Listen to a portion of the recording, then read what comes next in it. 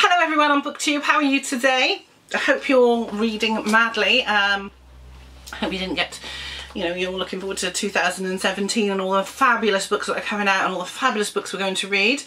Um, one of the books I read at the end of last year was uh, The Little Book of Audrey Hepburn by Caroline Jones. This was sent to me by Carlton Publishing and I will admit I never read anything on Audrey Hepburn, although I have watched some of her films before. Nice pink, Quite nice. I like that. So yes. Um, this was sent to me by Carlton Publishing. It is a very brief overview of Audrey's life and career illustrated with some beautiful photographs. Um, for instance. I mean, and the photographs, they're tiny because it's a very, it is a very little book. But they are beautiful photographs.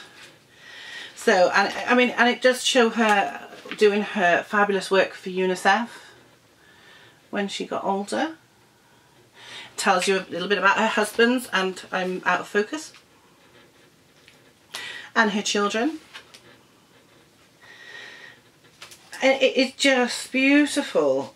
Um, it tells about her influence on fashion, um, and her collaboration with Givenchy, um, with the, the uh, little black dress from uh, Breakfast at Tiffany's and Mango, who uh, made shoes and actually makes a ballet flat called the Audrey because she was very famous for those.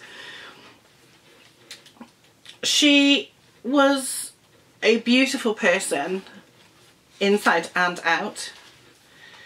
Um, tells about her life after film, like I said, I work for UNICEF because as a child in um, Europe during the Second World War, where she lived in the Netherlands, they were reliant on things like UNICEF parcels. They suffered greatly and she always remembered that later on. So of course she supported them very, very much. This is a stunning photograph of her. And that was, when was that? 1992 absolutely gorgeous. And then there is a picture of her Swiss her grave in Switzerland. So when she died on 20th of January 1993 and she was just 63 she died of cancer.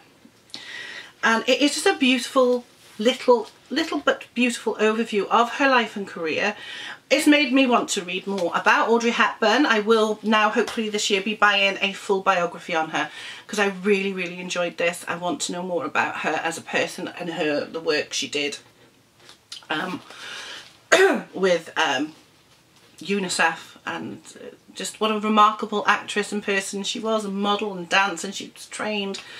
She could do everything and she was a different look in the 50s from the Jane Russells and Marilyn Monroe's. And I love all of the 50 stars. I love Jane Russell, I love Marilyn Monroe, I love Doris Day, and Audrey Hepburn. I wasn't, I, I like Jayne Mansfield, but I'm not a huge fan of hers. I do, I like some of her films. Um, I think she could have been more than she was, but we're not talking about Jayne, we're talking about Audrey. So I do love all those 50 stars, but Audrey, she was something different. She was something very special.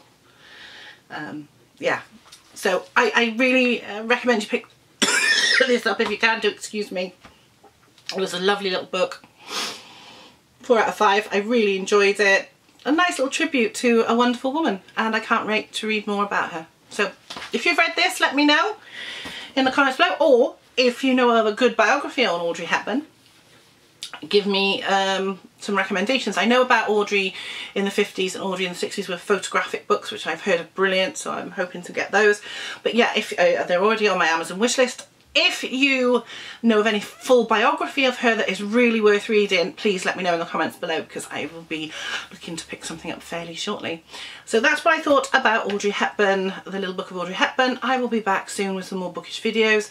I'm going to go and catch up on all my um, the videos I need to watch and comment on. Um, I will see you soon. Please leave a comment, please subscribe, please share, give it the thumbs up if you enjoyed it and I'll see you soon. Bye!